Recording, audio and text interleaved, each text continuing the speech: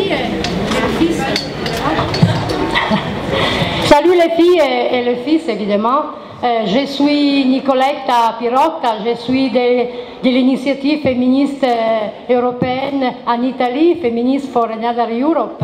Je vais faire euh, ensemble d'Evelyne la, la présentation de la situation des femmes en Europe.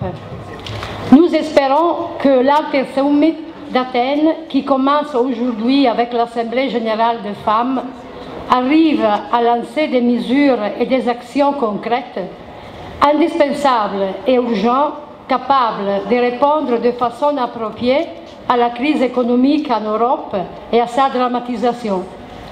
Dans la crise, l'existence des femmes est conditionnée de plus en plus spécifiquement.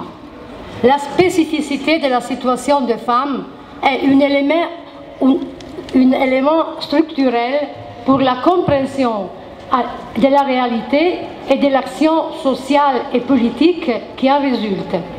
La dette publique n'est pas neutre, c'est juste, oui, neutre, euh, du point de vue de genre, il faut en finir avec l'esclavage de la dette. Από το 2009 όμως και μετά βλέπουμε μια ε, πάρα πολύ μεγάλη μείωση των γυναικών που μπαίνουν στο εργατικό δυναμικό και φυσικά την τελευταία τριετία μια ε, δραματική αύξηση της ανεργίας που δεν είναι απλώς αύξηση, είναι καλπάζουσα ανεργία.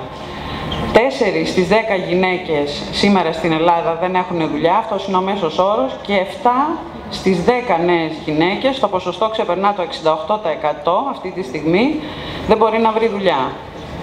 Και όσες όμως γυναίκες καταφέρνουν να βρουν δουλειά, βρίσκουν εξαιρετικά κακής ποιότητας δουλειές, χαμηλά αμοιβόμενες, ανειδίκευτες, επισφαλείς, ε, πολύ συχνά χωρίς ασφαλιστικά και συνταξιοδοτικά δικαιώματα, με αποτέλεσμα όλο ένα και περισσότερες γυναίκες να πέφτουν στον κύκλο της στόχιας και του κοινωνικού αποκλεισμού.